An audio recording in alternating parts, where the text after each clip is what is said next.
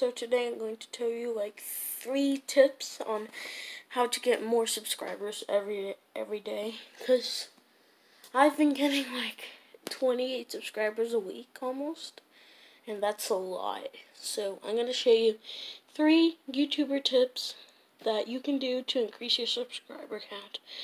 So let's start the video.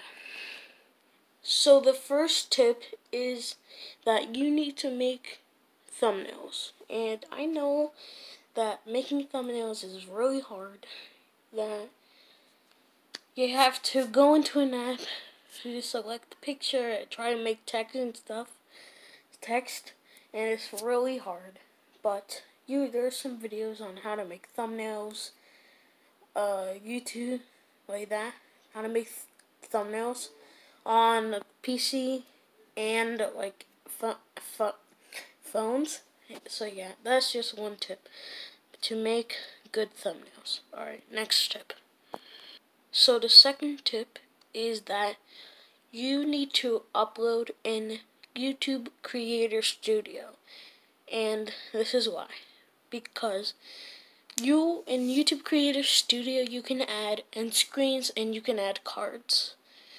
Like a card can be like a video, a poll, or even promoting another channel. And an end screen can feature more of your content on YouTube because um you can like put a video and then put a like your channel and then they can click on your like profile photo and then they then they can subscribe to you.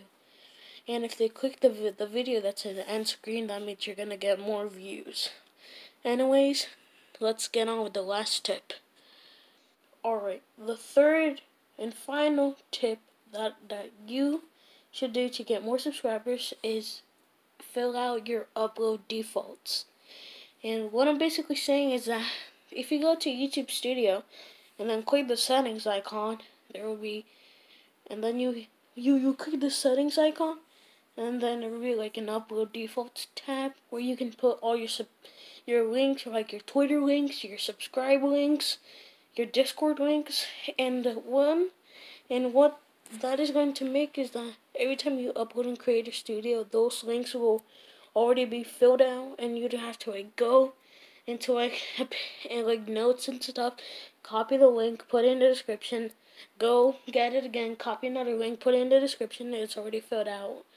So yeah, that's the third and final tip that on how to get more subscribers. So yeah, hope you enjoyed this video. Um, this is the first video on how to gain a lot of subscribers. Maybe I can make another one if this one doesn't go good. So yeah, anyways, see you in the next video.